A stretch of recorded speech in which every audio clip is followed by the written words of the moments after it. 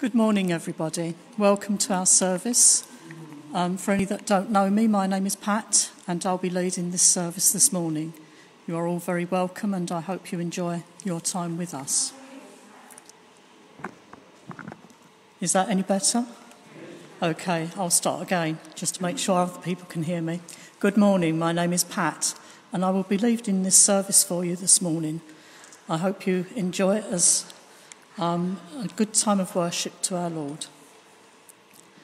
We will start our service this morning using the Green Books, and we will start on page two.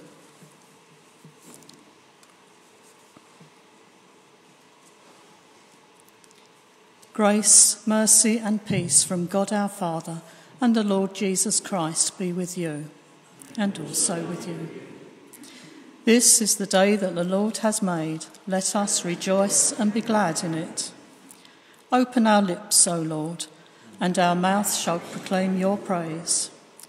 Give us joy of save, give us the joy of your saving help, and sustain us with your life-giving spirit.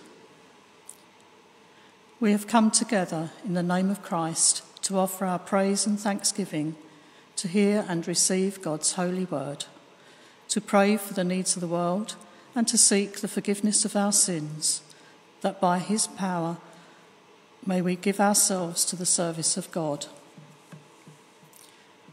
We now come to the time where we say sorry for the things we have done wrong. Jesus says, Repent, for the kingdom of heaven is close at hand. So let us turn away from our sin and turn to Christ confessing our sins in penitence and faith. Lord God, we have sinned against you. We have done evil in your sight. We are sorry and repent. Have mercy on us according to your love. Wash away our wrongdoing and cleanse us from our sin. Renew a right spirit within us and restore us to the joy of your salvation. Through Jesus Christ our Lord. Amen. May the Father of all mercies cleanse you from your sins, our sins, and restore us in his image, to the praise and glory of his name, through Jesus Christ our Lord. Amen. Blessed is the Lord, for he has heard the voice of our prayer. Therefore shall our hearts dance for joy, and in our song we will praise our God. And now Katie will come to lead us in our first song, which is Restore, O Lord. Hymn number 579.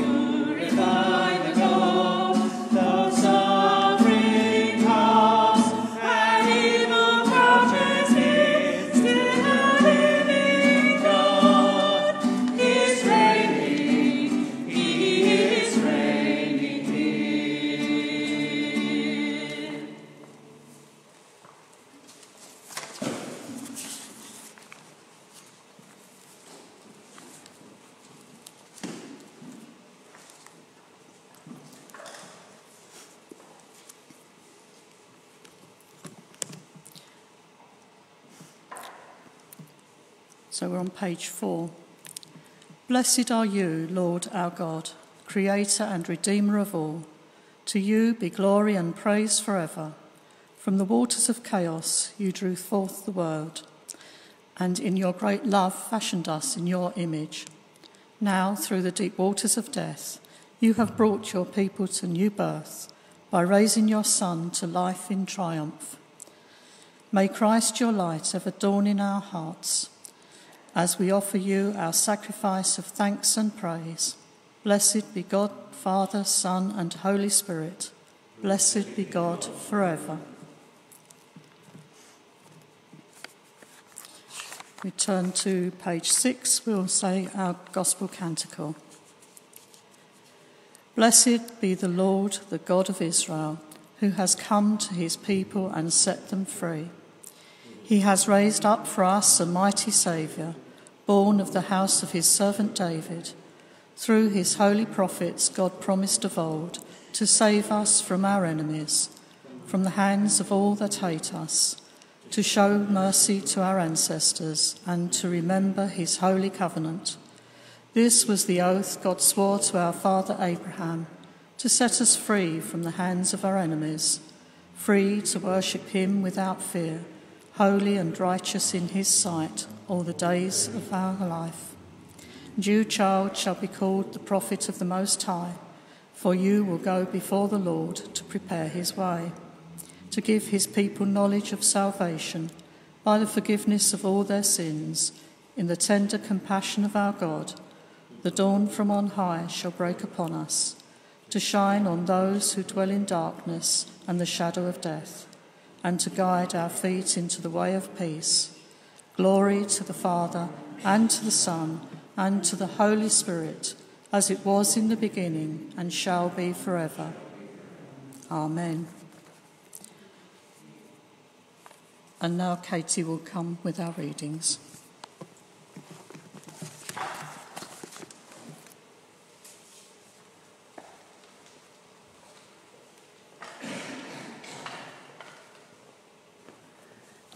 Morning think I need to move my music stand so I'm not kind of wandering behind. um, our epistle reading is from the book of James, chapter 2, verses 1 to 17.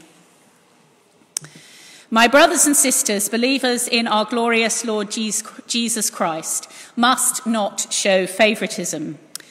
Suppose a man comes into your meeting wearing a gold ring and fine clothes, and a poor man in filthy old clothes also, also comes in. If you show special attention to the man wearing fine clothes and say, here's a good seat for you, but say to the poor man, you stand there or sit on the floor by my feet, have you not discriminated among yourself and become judges with evil thoughts? Listen, my dear brothers and sisters, has not God chosen those who are poor in the eyes of the world to be rich in faith and to inherit the kingdom he promised? Those who love him. But you have dishonored the poor. It, is it not the rich who are exploiting you? Are they not the ones who are dragging you into court? Are they not the ones who are blaspheming the noble name of him to whom you belong? If you really keep the royal law found in Scripture, love your neighbour as yourself, you are doing right. But if you show favouritism, you sin and are convicted by the law as lawbreakers. For whoever keeps the whole law and yet stumbles at just one point is guilty of breaking all of it. For he who said, You shall not commit adultery, also said, You shall not commit murder. If you do not commit adultery but do commit murder, you have become a lawbreaker. Speak and act as those who are going to be judged by the law that gives freedom, because judgment without mercy will be shown to anyone who has not been merciful. Mercy triumphs over judgment. What good is it, my brothers and sisters, if someone claims to have faith but has no deeds? Can such faith save them? Suppose a brother or sister is without clothes and daily food. If one of you says to them, Go in peace, keep warm and well fed, but does nothing about their physical needs, what good is it? In the same way, faith by itself, if not accompanied by actions, is dead. This is the word of the Lord. Thanks be to God. Our gospel reading is from Mark chapter 7, verses 24 to 37. Jesus left that place and went to the vicinity of Tyre. He entered a house and did not want anyone to know it, yet he could not keep his presence secret. In fact, as soon as she heard about him, a woman whose little daughter was possessed by an impure spirit came and fell at his feet. The woman was a Greek born in Syrian Phoenicia. She begged Jesus to drive the demon out of her daughter. First, let the children eat all they want, he told her, for it is not right to take the children's bread and toss it to the dogs. Lord, she replied, even the dogs under the table eat the children's crumbs. Then he told her, For such a reply you may go, the demon has left your daughter. She went home and found her child lying on the bed and the demon had gone. Then Jesus left the vicinity of Tyre and went through Sidon, down to the Sea of Galilee and into the region of Decapolis. There, some people brought to him a man who was deaf and could hardly talk, and they begged Jesus to place his hand on him. After he took him aside, away from the crowds, Jesus put his fingers into the man's ears. Then he spit and touched the man's tongue. He looked up to heaven and with a deep sigh said to him, Ephphatha, which means be opened. At this, the man's ears were opened. His tongue was loosened and he began to speak plainly. Jesus commanded them not to tell anyone, but the more he did so, the more they kept talking about it. People were overwhelmed with amazement. He has done everything well, they said. He even makes the deaf hear and the mute speak. This is the word of the Lord. Thanks be to God.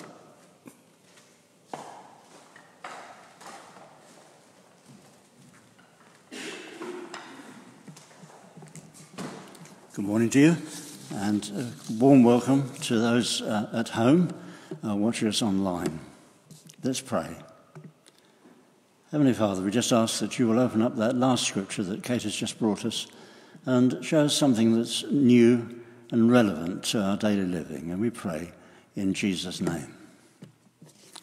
Beginning with Abraham, God had built the Jewish nation to be special to him and to be kept separate from the pagan nations with whom they came into contact. With hindsight, we know that with the coming of Jesus, God's people became marked out not by nationality, but by their faith in Jesus. Commentators suggest that by this particular journey, Jesus was signaling that new order which was to follow uh, when Jesus came. Uh, uh, when, and had gone through um, the crucifixion, resurrection, and ascension, the new church. And under that order, Abraham's inheritance was free to Gentiles as well as Jews. And um, that was a, a, brand new thought. The conversation which Jesus had with the Libyan born Greek woman, Syrophoenician in our reading, um, was um, uh, really supporting uh, that idea of that new order. It was Jesus, uh, one of Jesus' early outreach to new people, to outside the Jewish faith. Jesus seems to respond unusually harshly to the woman when she asks for healing for her daughter. Uh, verse 27 First, let the children eat all they want, he told her, for it's not right to take the children's bread and toss it to the dogs. One of the hallmarks of groups of people can be a tendency to become arrogant, and that was touched on in our epistle reading people not in the group can easily become seen as second class. The Nazis in World War II went even further. They declared themselves a superior race and treated Jews, homosexuals, and many other people as being subhuman. In Nazi concentration camps, people were given numbers instead of their names, all part of the dehumanizing, the distancing, which made genocide a possibility. And it was also in the Western civilized world that slavery was at its height from the 1400s to the 1800s. And those enslaved were also treated as less than human by their abusers. That made running highly profitable businesses like sugar and cotton on the backs of slaves a reality. At the time of our reading, the very exclusiveness of the Jews had led some of them to become quite arrogant in their attitude to outsiders. And Jesus chose to use a common Jewish parallel by suggesting to this Greek woman that foreigners like that uh, ranked level with dogs. On the surface, uh, this was insulting and certainly wouldn't pass any modern test of political correctness. However, I believe that there may have been something of a twinkle in Jesus' eye as he spoke to the woman. He was immediately drawn to her genuineness and faith. I think he knew that she wouldn't come back at him with some anti Jewish comment, which would have been quite understandable. In fact, the woman didn't challenge the parallel Jesus had drawn at all. Instead, she went along with it, pleading in effect that she was only asking for crumbs from under the Jewish table. Perhaps, too, she was encouraged that Jesus chose the word for a pet dog rather than the more common one describing a scavenger. Jesus responded with the only distance healing recorded in Mark's Gospel. He sends the woman home to find her child well and no longer demon possessed. Such was the power of God in Jesus. In our reading, the writer of Mark's Gospel then goes on to record a second miracle. The setting changes in just one verse, verse 31. Then Jesus left the vicinity of Tyre and went through Sidon, down to the Sea of Galilee, and into the region of Decapolis. It may sound that he just took a walk round the corner, but if we look at a map of the area, we realize that in those few words, Jesus went first some 20 miles north to Sidon, then looped south again to pass the Sea of Galilee to go into Decapolis. Decapolis, literally the ten towns, was the area in which Jesus' healing of a demon possessed man was recorded earlier in this same gospel. That was the dramatic healing, you may remember, where there were many demons and they all ended up in a suicidal herd of pigs uh, who uh, jumped uh, into the sea. There must have been many people in that area who remembered that healing. Uh, on that occasion, after being healed, the man had wanted to join Jesus' band of followers, but Jesus told him to return to his own people and tell them of his experience. So Jesus was no longer uh, in foreign territory. He was back for the second miracle in his home territory. And it was there that a man is brought to Jesus who is deaf and whose speech is very difficult to understand. The people who brought the man begged Jesus to heal him. Jesus' response to their plea was first to take the man aside from the crowd, and the account goes on Jesus then put his fingers into the man's ears. Then he spit and touched the man's tongue. He looked up to heaven and with a deep sigh said, Ephphatha, which means be opened. At this, the man's ears were opened, his tongue was loosened, and he began to speak plainly. Jesus commanded them not to tell anyone, but the more he did so, the more they kept talking about it. People were overwhelmed with amazement. He has done everything well, they said. He even makes the deaf hear and the mute speak. Jesus healed the foreign woman's daughter without even seeing her. By contrast, he healed the deaf man in a very hands on way. One healing was remote, and the other, other one was very personal. what food for thought is there for us as we consider these accounts of two of Jesus' healings? First, as with all of Jesus' miracles, the power of God was demonstrated. Where miraculous healing is involved, the individual is changed dramatically. So, in many cases, are the people around them. The food for thought here is the power of the God whom we seek to serve, and his willingness and desire to see people and their lives changed for the better.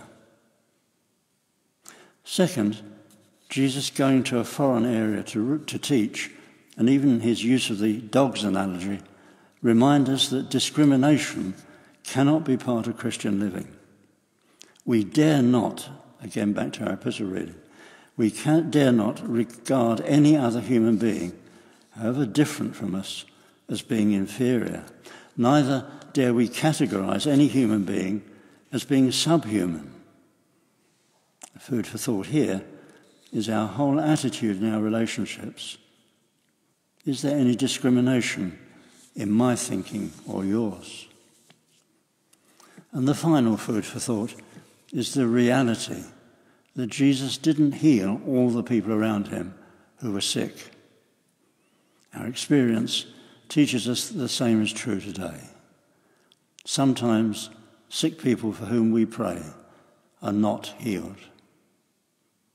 Perhaps in this we're looking for the ability to accept that God's understanding is often different from human understanding. At times when we cannot understand, our prayer must be that we will trust God. Trust Him that the outcomes He brings are, in the end, always the best and most appropriate. Amen.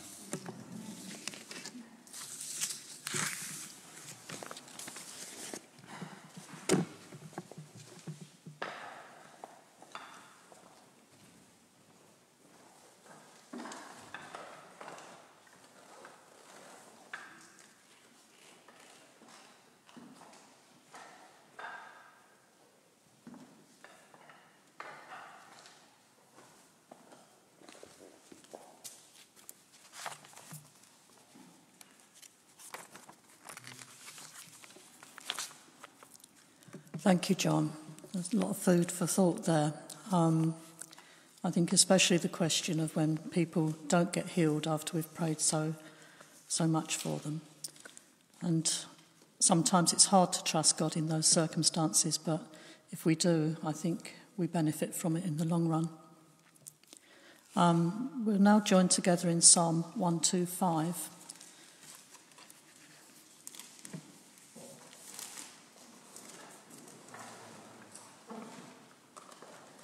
Give you a moment to find that in your Bibles.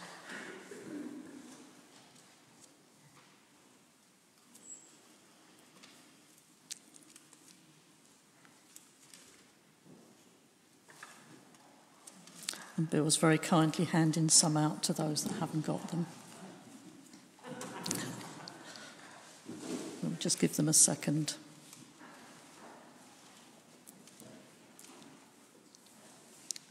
Okay. I think everybody's got a Bible. I think we're almost there. We can read this together, please. Psalm 125.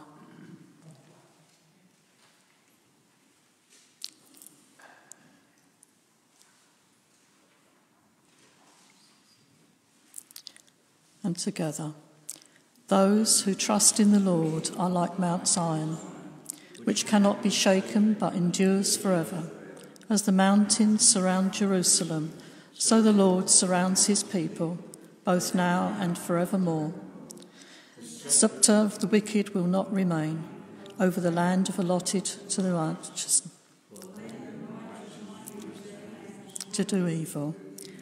Lord, do good to those who are good, to those who are upright in heart, but to those who mourn,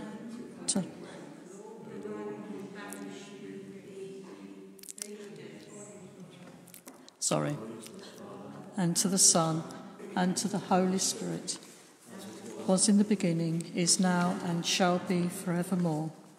Amen. We come to our second hymn, which is All Heaven Declares, which can be found on page 14. It's hymn number 14.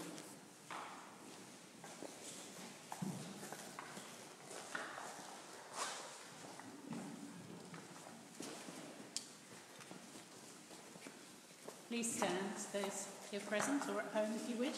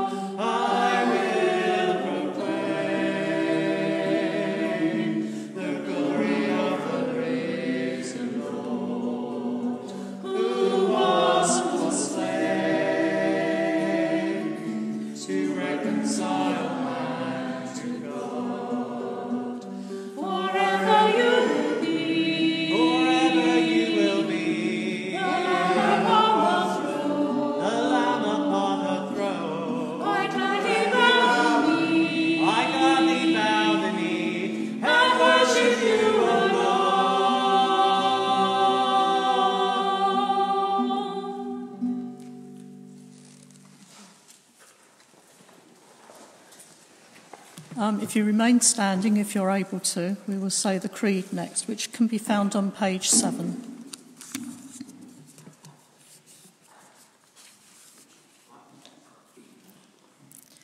Together.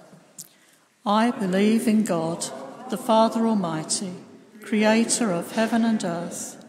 I believe in Jesus Christ, his only Son, our Lord, who was conceived by the Holy Spirit born of the Virgin Mary, suffered under Pontius Pilate, was crucified, died, and was buried.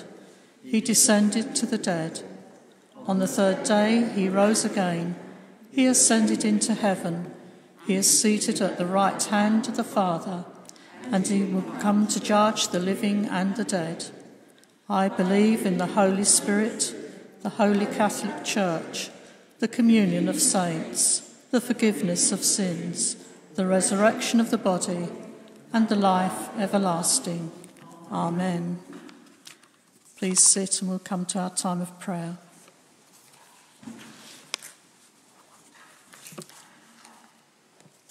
I'll begin with our collect for today, which is on your notice sheets.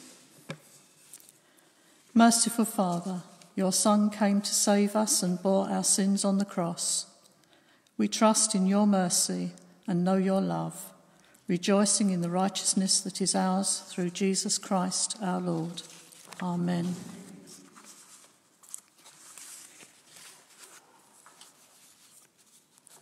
In our prayers, when I say, Lord, in your mercy, please reply, Hear our prayer. Lord, in your mercy, hear our prayer. Let us come before the Lord as we pray for the church, the world, and for our own needs. Give your wisdom and heavenly grace to all those who serve in this diocese of Chelmsford, especially for our new Bishop Guli, and to all others who hold office in your church, that by their service faith may abound and cause, and cause your kingdom to increase. Father, we pray for all our world leaders for our royal family, for our government, for the heads of state in Europe, the Commonwealth, and the United Nations, that they will all make wise decisions and govern in the best way for all your people. We also pray for all our community leaders and those in public office dealing with difficult situations, especially all those that are surrounding the ongoing pandemic. We pray for your church here in this parish. We give thanks that we are a church with a mission and with a welcome for those in need around us. Help us to serve people without judgment and meet their needs. We give thanks and pray for all in our leadership team, for all who faithfully do the different tasks that are needed to run this church. Sometimes they go unseen, Lord, but we know that they're doing them because They've been done. And we don't always remember that the people are doing those small things which are so important. We pray for our church congregation. Strengthen the ministry that is in all of us, Lord, that we may all recognise and acknowledge the gifts that you give us and step out in faith as you call us. We pray for all those attending our Alpha courses, and we pray that they will grow in knowledge and love of you. And as our schools and colleges go back next week, we pray for confidence and a willingness to learn. We pray for the teachers and staff that they will have enthusiasm and energy to make schools a safe and happy place of learning. Lord, in your mercy, hear our prayer. We pray for our troubled world. We pray for those caught up in the tragedy of war, pandemic, and climate change. We pray especially for Afghanistan, for its new government, and for those that are left behind living in fear. I'm just going to leave a moment of silence for you to pray for anywhere that's especially on your heart at this moment.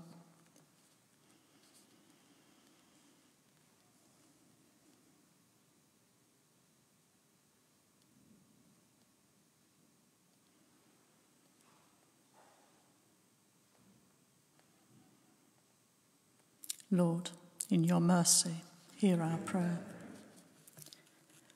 We give thanks for all those who are trying to make a difference. We continue to pray for those affected by COVID, long COVID, and all those who are grieving because of it. We pray for the NHS staff as they cope with this pandemic. Let there be a breakthrough in the treatments that can be provided.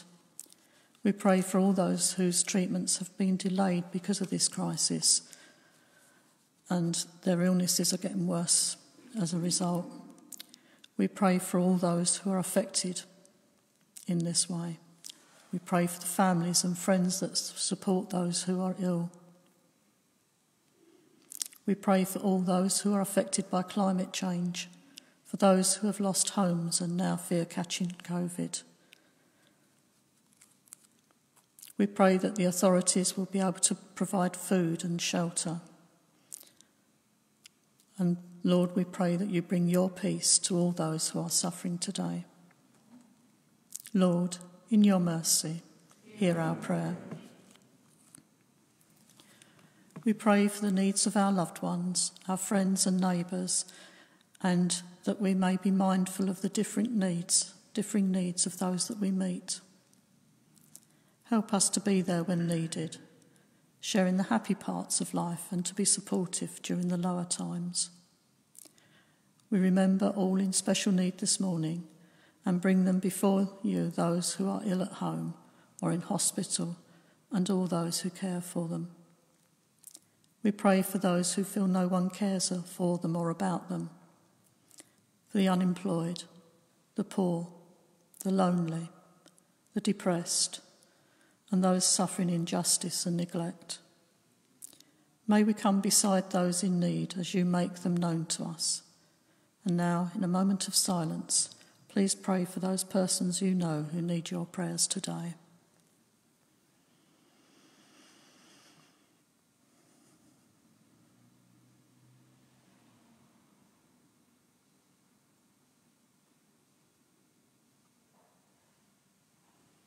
Lord, in your mercy, hear our prayer. Finally, Lord, we pray for ourselves. Faithful God, we thank you that your wisdom not only enlightens us, but transforms us and guides us in our daily walk. Help us always to accompany our words of faith with deeds of action. Merciful Father, accept these prayers for the sake of your Son, our risen Saviour, Jesus Christ. Amen.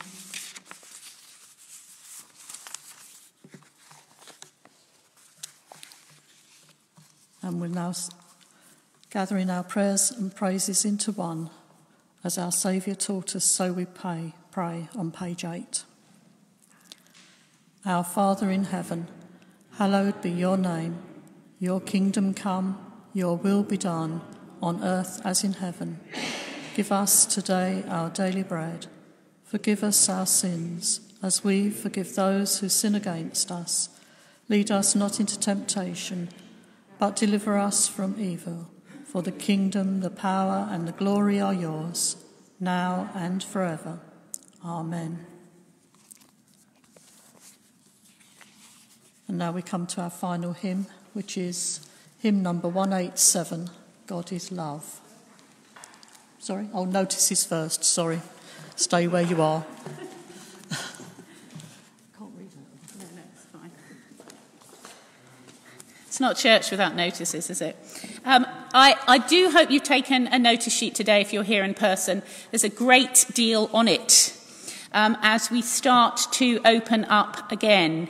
So, uh, just to bring to your attention that this week, the cafe will be starting again. It's going to be a sort of scaled down cafe. We're going to be meeting at the back.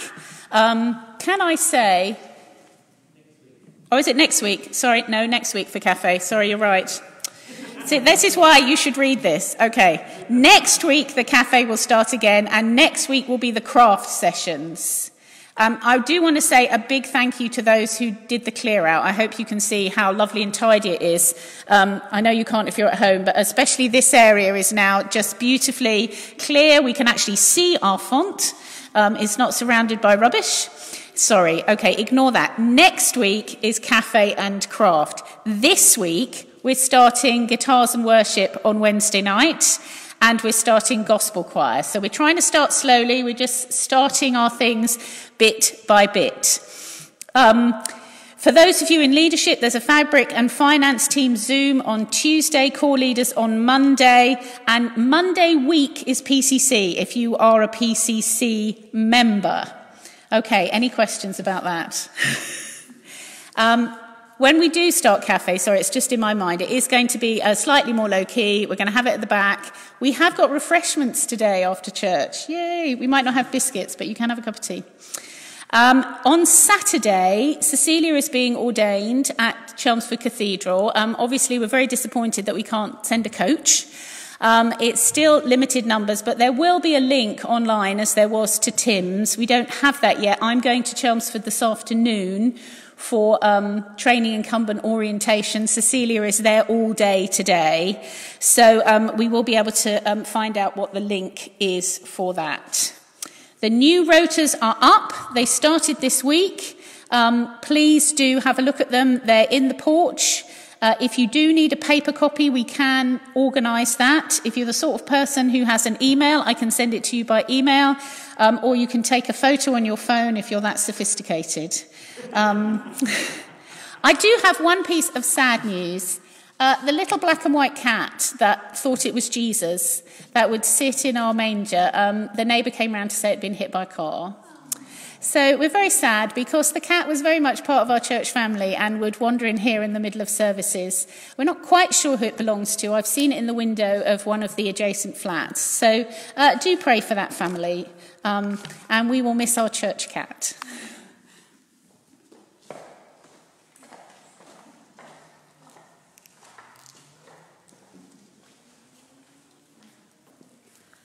Thank you. And just to say, um, there are a box of chocolates on the table that um, was given to me by a kind neighbour. Unfortunately, I can't eat them, so I'm hoping you will all take at least one, please.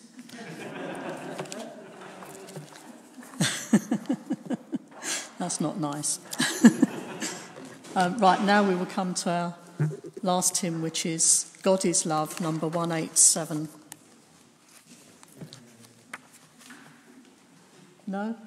Yes? Oh.